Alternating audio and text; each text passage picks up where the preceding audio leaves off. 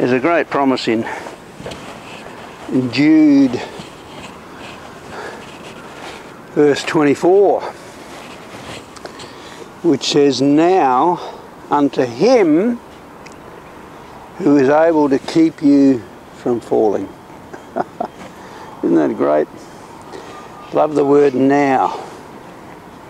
This is not sometime in the future, this is now.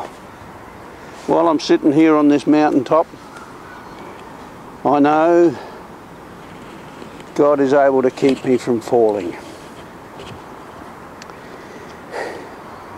And it goes on to say, and to present you faultless before the presence of His glory.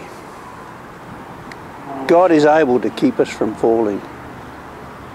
When we look to Him, when we allow Him to guide us, when we listen to His Word, when we're washed in His Word, when we store up the Word in our heart that we may not sin against Him, He keeps us from falling. He put angels around our mouth to guard what comes out of our mouth. And uh, the bird just flew between me and the camera.